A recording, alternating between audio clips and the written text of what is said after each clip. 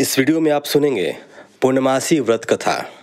द्वापर युग में, एक समय माता यशोदा जगत के प्राणियों को नाना प्रकार के क्लेशों से एवं विपत्तियों से पीड़ित देख, उनके दुख से दुखी होकर उनका कल्याण करने की भावना से नंद नंदन ब्रजचंद मुरली मनोहर भगवान विष्णु के पास जाकर अति प्रेम से बोली हे गोपाल, तुम ही सारे संसार के उत्पन्न करता एवं संहार करता हो।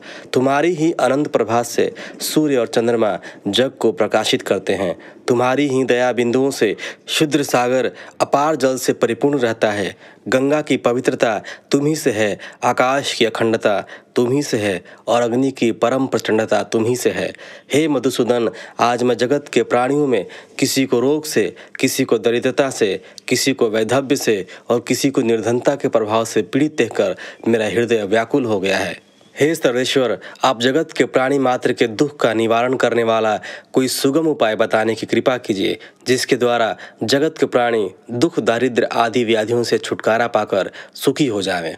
माता यशोदा के सौंदर्यपूर्ण वचन सुनकर परम प्रफुल्लित होकर यदुनंदन कहने लगे कि, हे माता, जग कल्याण की भावना से ओतप्रोत आपका यह प्रश्न मन को आनंदित करने वाला है हे माता, अब मैं आपके समक्ष पूर्णमासी व्रत का वर्णन करता हूँ, जिसके करने से नारियाँ वैधव्य की व्याधि से मुक्त हो जाती हैं। पुरुष दुख, दरिद्र एवं निर्धनता आदि अनेकानेक कठिन क्लेशों से निर्भय हो जाते हैं और उन्हें सुख, संपत्ति आदि अटल सौभाग्य की प्राप्ति होती है। इस व्रत की विधि यह है। प्रातःकाल ब्रह्म बेला में शैया त्याग, शौच इत्यादि नित्य कर्म करके, शुद्ध श्वेत वस्त्र धारण करके, पूजन की सामग्री एकत्रित कर, आम पल्ल युक्त कलश एवं गणनायक गणेश जी की प्रतिमा स्थापित करके, स्वस्ति वाचन करे और हाथ जोड़कर कहे कि, हे गणेश जी महाराज, मैं अमुक नाम, अमुक गोत्र, अमुक देश का निवासी, अमुक कार्य हेतु आपका आवाहन करता हूँ। हे परम पूज्य, समस्त विघ्नों के विनाश करने वाले मुझ दीन पर दया दृष्टि करते हुए पधारने एवं मेरा मनोरथ पूरा करने की कृपा कीजिए। इसके बाद देवादिदेव भगवान शंकर का निम्न प्रकार से षोड़शोपचार पूजन करें, जिसका विधान इस प्रकार है। हे देवादिदेव भगवान, त्रिलोचन, जिसके हाथों में भक्तजनों के शूल हरने वाला त्रिशूल विराजमान है और गले में काले सर्पों तथा मुंडों की माला पहने हुए हैं, जिनका समस्त शरीर शमशान की भस्म से रंगा हुआ है और जिनकी उलझी हुई जटाओं में पतित पावनी गंगा की धारा प्रवाहित हो रही है। उन भगवान शंकर का ध्यान मन में और उनका आवाहन करके कहें कि, हे शंभु, भक्त वत्सल, मैं आपको आवाहन करता हूँ, आप मुझ दिन पर अनुग्रह कर पधारने की कृपा कीजिए। तत्पश्चात आसन प्रदान करके विनय करें कि, हे प्रभु, आप इस आसन पर विराजमान होइए। तदुपरांत पाद अर्पित करता हुआ कहें कि, हे समस्त जगत के संहार करता मुझ अकिंचन द्वारा अर्पित यह पाद स्वीकार कीजिए। पादे के बाद मस्तक पर तिलक लगा, माल्यार्पण करके निवेदन करे कि, हे नाथ, मुझ सेवक द्वारा समर्पित यह पुष्पहार गले में धारण करने की कृपा कीजिए। तदुपरांत कपूर, घी, मधु, दही, चीनी और दूध मिश्रित पंचामृत से स्नान करावें और कहें कि, हे विश्वनाथ, उपरोक्त वस्तुओं से निर्मित पंचामृत से स्नान करने की अनुकंपा कीजिए। फिर वस्त्रार्पण करके मुझ पर परम अनुग्रह कीजिए। बाद में यज्ञोपवीत अर्पण कर प्रार्थना करेगी, हे देवेश, यह उत्तमोत्तम यज्ञोपवीत धारण करने की परम कृपा कीजिए। तत्पश्चात केशर कस्तूरी युक्त चंदन अर्पित करके कहें कि, हे भोलेश्वर, आप यह लेपन स्वीकार कीजिए। फिर चावल समर्पित कर विनम्रता पूर्वक कहें कि, हे सर्वेश्वर, यह अक्षत कृपा करके ग्रहण कीजिए। फिर सुंदर गुलाब, चंपा, चमेली एवं बेलपत्र के संयोग से निर्मित माल्यार्पण करके कहें कि, हे भोलेश्वर यह पुष्पहार गले में धारण करने की कृपा कीजिए। बाद में गाय का घी एवं कपास की रुई से निर्मित बत्ती बनाकर दीप जलावें और सुगंध हेतु धूप एवं अगरबत्ती प्रज्वलित करके विनय करें कि, हे देवेश, मेरे समस्त मनोविकार नष्ट करके, मेरे मन के अपार अंधकार को विनाश करके ज्ञान का प्रकाश करने की कृपा कीजिए। तदुपरांत पंचमेव मिष्ठान पाँच फल अर्पित करके विनय करें कि हे जगदीश्वर, आप मुझदास पर अनुग्रह करके यह नैवेद्य स्वीकार करने की कृपा कीजिए। इसके बाद मुख शुद्धि हेतु सुपारी युक्त पान समर्पित करके कहें कि हे जगदाधार, यह ताम्र पत्र ग्रहण कीजिए। इसके बाद ऋतुफल समर्पित करके विनय करें कि हे उमापति, यह ऋतुफल ग्रहण करके शुभ अकिंचन को अपने चरण कमलों की अविचल भक्ति प्रदान करें। उपरोक्त वस्तुएँ अर्पित करके भगवान शंकर की मनोयोग पूर्वक पूजा करें और एक सौ आठ बार शिव जी के इन सोलह नामों का जप करें। देवादेव त्रिनेत्र, शंकर, विश्वनाथ उमा रमण हे कामरूप, सुशंभु, भवभृतेश, दारुण दुख हरण शीतिकंठ उग्र, शिवम, श्रैल, मूंड, चंद्रमौली, विश्वभरण कीजे निहाल, मृत्युंजय अमर शशि शेषरम इस प्रकार भगवान भूतनाथ की पूजा करके प्रार्थना करें, हे दयालु शंकर, मुझ दास द्वारा अर्पित यह पूजा सामग्री स्वीकार करो। हे प्रभु, मेरे मनोविकार दूर करके, मेरे तिमिर आच्छादित हृदय में ज्ञान और भक्ति का प्रकाश कीजिए। कथा प्रारंभ। भगवान के मुख से इस प्रकार व्रत का विधान सुनकर माता यशोदा बोली, हे कृष्ण जी, पूर्व काल में किसने इस व्रत को किया? उसका व्याख्यान करने की कृपा कीजिए। माता यशोदा के ऐसे वचन सुनकर नंद नंदन बोले पूर्व काल में वैभव से परिपूर्ण कातिका नाम का एक महानगर था। उस नगर के राजा का नाम चंद्रहास था। उस नगर में धनेश्वर नाम का ब्राह्मण निवास करता था। उसकी परम सुशील पत्नी का नाम रूपवती था। वह दोनों प्राणी उस नगर में अत्यंत प्रेम के साथ जीवन व्यतीत करते हुए घर, धन, धान्य आदि से परिपूर्ण था।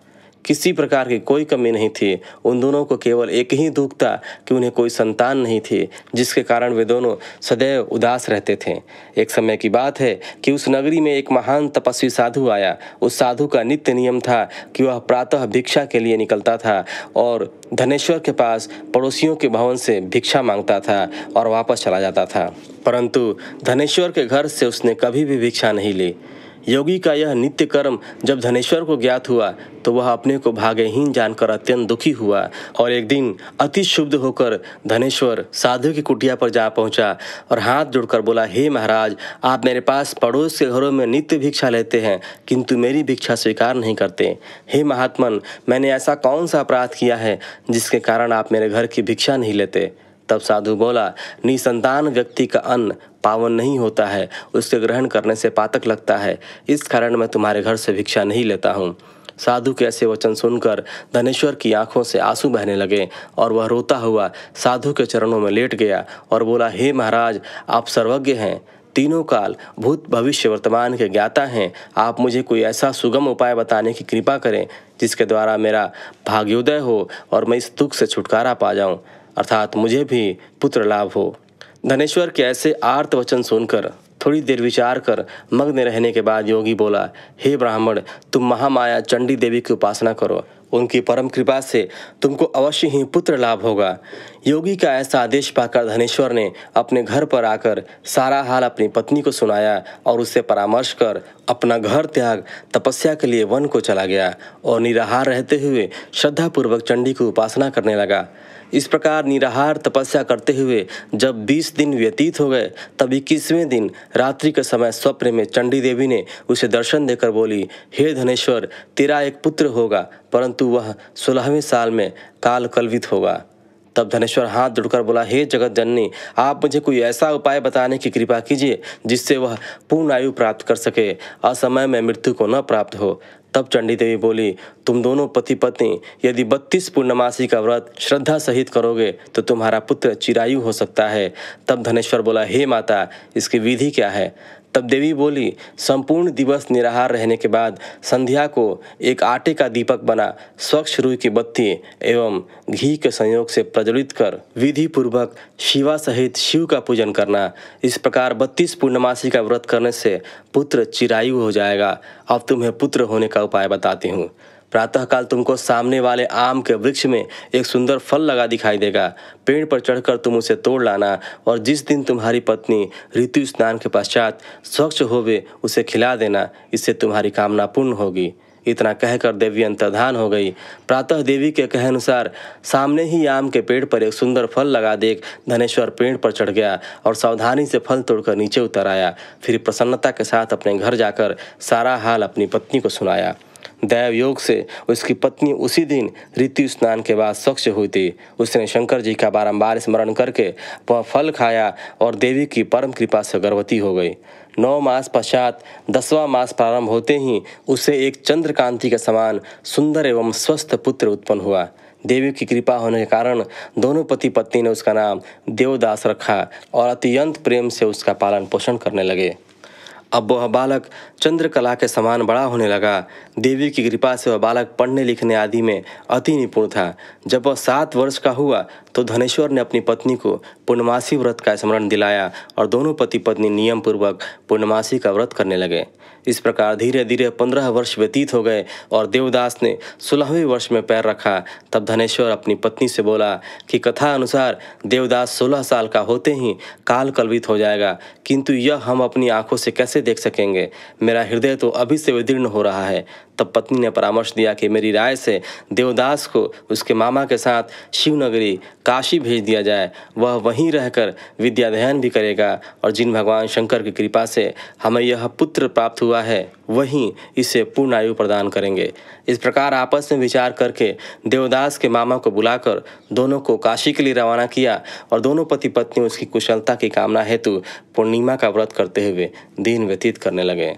देवदास अपने मामा के साथ काशी पाठशाला पर चला गया और कई दिन बाद एक नगर में जा पहुँचा, जब तक शाम हो गई थी। अतः दोनों मामा भांजे एक धर्मशाला में जा टिके। उसी धर्मशाला में एक बारात आकर ठहरी। देवी प्रेरणा से जब भावर का समय आया, उसके कुछ देर पूर्व ही दूल्हे पर पत्रघात का ऐसा प्रबल आक्रमण हुआ कि दूल्हे के पिता आदि संबंधी अत्यंत विकल हो गए। तब किसी ने परामर्श दिया किसी धर्मशाला के अमुक कमरे में वर के अनुरूप एक युवक ठहरा है। उसे किसी प्रकार संतुष्ट कर उसी के साथ भावने डाल दी जाए और अन्य जो भी कार्य होंगे, वह वर के साथ हो जाएँगे। सबकी सम्मति से लड़के के पिता ने देवदास के मामा के पास जाकर निवेदन किया कि अपने भांजी को कुछ देर के लिए मुझे प्रदान करे, जिससे मेरे पुत्र का विवाह कार्य संपन्न हो सके। तब उसके मामा ने कहा कि कन्यादान के समय मधु पर्क के आदि जो कुछ भी मिलेगा, वह मैं ले लूँगा। यदि आपको यह बात स्वीकार हो तो मेरा भांजा आपके कार्य हेतु प्रस्तुत है। वर के पिता ने उसका यह प्रस्ताव तुरंत ही स्वीकार कर लिया और देवदास दूल्हा बन गया और उसी के साथ विवाह कार्य संपन्न हो गया और उसे कन्या के साथ भोजन के लिए एकांत भवन में भेज दिया। किंतु देवदास, मारे संकोच के भोजन न कर सका और मन में विचार करने लगा कि यह दूसरे की स्त्री और इसके साथ भोजन करने से इसका धर्म नष्ट हो जाएगा। इस सोच के मारे उसकी आँखों में आँसू छलक उठे। यह देखकर वह कन्या बोली, हे नाथ, आप किस लिए उदास हैं? मुझे अपनी दासी जानकर बताने की कृपा कीजिए। तब देवदास ने वर के पिता एवं अपने मामा से जो वार्ता हुई थी, वह सब उसे बतला दी। तब कन्या बोली, मैंने देव द्विज अग्नि एवं अनेक संबंधियों के समक्ष आपको पति के रूप में स्वीकार किया है। अब मैं किसी दूसरे को अपना पति नहीं बना सकती हूँ। तब देवदास बोला कि आपके इस निश्चय से आपका अनिष्ट होगा, क्योंकि मेरी आयु का केवल एक वर्ष शेष रह गया है। अतः इस विचार को अपने हृदय से निकाल दीजिए। तब कन्या बोली, हे स्वामी, आप मेरी चिंता न कीजिए। यदि मैं धर्म पथ पर अडिग हूँ तो ईश्वर मेरा कल्याण करेगा।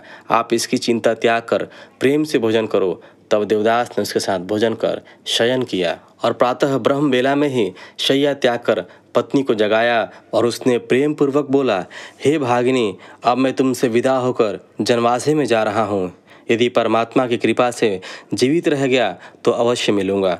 वैसे मेरी मृत्यु एवं जीवन जानने के लिए तुम अपने भवन में उत्तम सुगंध वाली नवपल्लिका का पेड़ लगाना और उसे नित्य प्रति अपने हाथों से सींचना।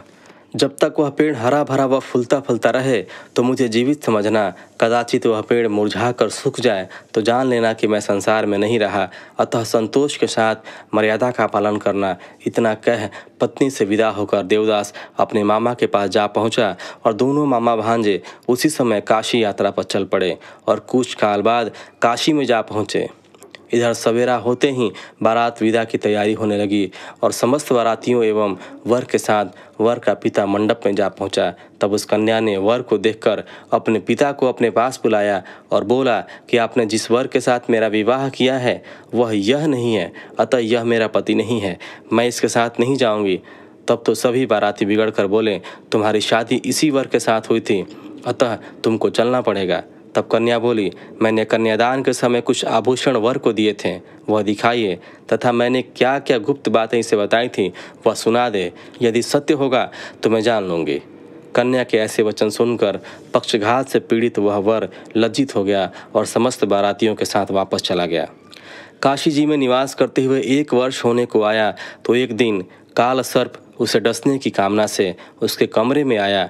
देवदास उस समय सो रहा था, अतः उस सर्प का आगमन न जान सका और उस सर्प के प्रभाव से देवदास के आसपास की सारी धरती काली पड़ गई। परंतु उस विष का प्रभाव देवदास पर न हुआ, क्योंकि उसकी माता ने बत्तीस पूर्णमासी का अपना संकल्प पूरा कर चुकी थी। अतः देवदास के प्राण न निकले और वह जीवित रहा।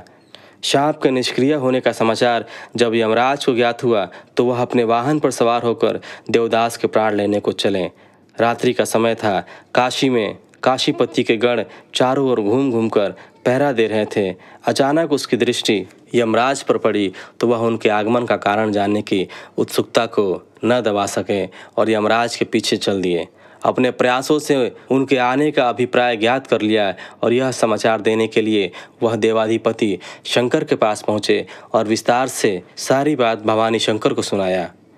त्रिकालदर्शी शिव जी ने अपनी यौगिक शक्ति से उसकी माता द्वारा व्रतों का संकल्प, यमराज के आगमन का सारा हाल गिरजा को कह सुनाया।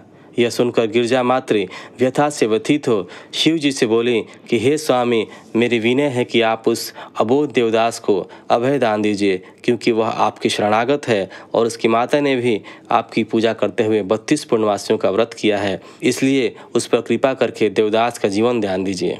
भक्त वत्सल भगवान शिव ने गौरा के ऐसे वचन सुनकर हर्षित हो देवदास के स्थान पर गए, जहाँ वह प्राणहीन निश्चल पड़ा था। उसके मुँह में एक अमृत बूंद डालकर अंतर्ध्यान हो गए और देवदास सोए हुए व्यक्ति के समान उठ बैठा और अपने मामा से कहा कि, सोलहवा साल भगवान की कृपा से पूरा हो गया, इसलिए अब घर चलना चाहिए। यह विचार करके घर के लिए चल दिए। इधर उसकी पत्नी उसके आदेश के अनुसार नौपालिका का पेड़ लगा, नित्य पावन जल से सिंचती हुई अपने पति के ध्यान में मग्न रहती थी। जब यमराज ने देवदास के प्राण निकाले, तब नवमलिका के मुरझाए हुए पुष्पों को देखकर वह अति व्यथित हो गई और कुछ काल बाद ही जब देवदास को शिवजी जीवित कर दिए, तब वनमलिका के पुष्प पुनः सुरक्षित एवं पूर्व प्रभायुक्त हो गए। यह देख वह आनंद तिरक में अपने पिता के पास जाकर बोली, हे पिताजी, मेरे प्राणनाथ जीवित हैं और आप मेरी विनती पर ध्यान दीजिए और उनका पता लगाने का प्रयत्न कीजिए। अभी बाप बेटी में यह बात हो ही रही थी कि बाहर से समाचार मिला कि आपका दामाद देवदास आपके द्वार पर आ गए हैं। तब दोनों बाप बेटी परम प्रसन्न हो शिव जी का गुणगान करने लगे और अपने संबंधियों को एकत्र कर सबके समक्ष उसकी परीक्षा करके और परीक्षा में भली भांति जब विश्वास हो गया कि यह वही लड़का है जिसके साथ विवाह हुआ था, तब बड़ा आनंद मनाया और एक सप्ताह तक उसकी मेहमानदारी करने के बाद तमाम दहेज आदि के साथ कन्या सहित विदा कर दिया। देवदास पत्नी तथा मामा के साथ अपने गाँव जा पहुँचे। घर में पहुंचकर पत्नी सहित माँ बाप के चरणों में शीश नवाया। माँ बाप परम प्रफुल्लित हुए और दोनों को अनेक आशीर्वाद देकर गले से लगा लिया। धनेश्वर ने अपने पुत्र को मृत्यु भय से मुक्त हो जाने पर बड़ा भारी उत्सव किया और ब्राह्मणों को अति प्रसन्न हो दान देकर संतुष्ट किया। यशोदानंदन श्री कृष्ण बोले, हे माता जी जो स्त्रियाँ श्रद्धा भक्ति से इस व्रत को करती हैं, वह वैधव्य की विषम व्याधि से मुक्त हो, अटल सौभाग्यवती हो, सकल सुखों की अधिकारिणी होती हैं। मेरे इन वचनों में लेश मात्र भी संशय नहीं है। व्रत करने वाला, चाहे स्त्री हो या पुरुष, भगवान शंकर की कृपा से संसार के सकल आनंद भोग कर अंत में आवागमन रहित होकर शिवलोक को प्राप्त होता है। भगवान नंद नंदन के मुखार बिंदु से यह कथा श्रवण कर माता यशोदा बोली, हे केशव, जिस प्रकार यह मनुष्य मात्र का कल्याण करने वाली पुण्यमासी व्रत कथा का वर्णन किया है, उसी प्रकार कृपा करके इस व्रत का उद्यापन विधान भी कहिए, क्योंकि किसी भी व्रत का संपूर्ण फल बिना उद्यापन के नहीं प्राप्त होता है। तब भगवान श्री कृष्ण जी कहने लगे, हे माता, सुनो, अब मैं पूर्णमासी व्रत उद्यापन विधान का पूर्ण रूप से वर्णन करता हूँ, सो ध्यानपूर्वक सुनो। इस व्रत को सदैव अगहन, माघ अथवा वैशाख मास की पूर्णमासी से प्रारंभ करना चाहिए, तथा पौष और भाद्रपद की पूर्णिमा को व्रत नहीं करना चाहिए। यह शास्त्रानुसार वर्जित है। व्रती को चाहिए कि जब उसके संकल्प अनुसार व्रत संपूर्ण हो जाए या उसका मनोरथ पूर्ण हो जाए तो उसका उद्यापन करे और जिस दिन उद्यापन करना हो, उस दिन ब्रह्म वेला में शैया त्याग, नित्य कर्म से निवृत्त हो, शुद्ध स्थान में चौका लगाकर आटे का दीपक बना, उसमें शुद्ध तथा तथा बत्ती डाल प्रज्वलित कर शिव प्रतिमा के सम्मुख धरे और पूर्ण विधान के अनुसार शिव जी की श्रद्धा से पूजन करे। उसके बाद आचार्य द्वारा पूजन करावे। ओम शिवाय नमः मंत्र से 108 आहुति देवे और इस प्रकार पूजन के बाद आचार्य को दक्षिणा देकर संतुष्ट करें। बाद में प्रसाद वितरित करके भजन कीर्तन करता हुआ रात्रि को जागरण करें और प्रातः काल शिव जी की आरती करके विसर्जन करें। बोलिए शंकर भगवान की जय।